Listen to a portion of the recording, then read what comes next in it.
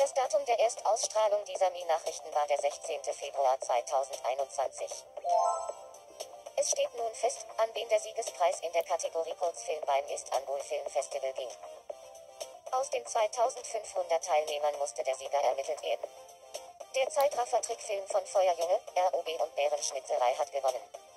Feuerjunge hat daheim über ein Jahr Arbeit investiert, um diesen Film über zwei verliebte Individuen fertigzustellen. Dennis, ein Mitglied der Jury, bewertete das Resultat wie folgt. Dieser Film markiert den Anfang einer neuen Ära in der Filmindustrie. Wir haben einige Inselbewohner nach ihrer Meinung gefragt.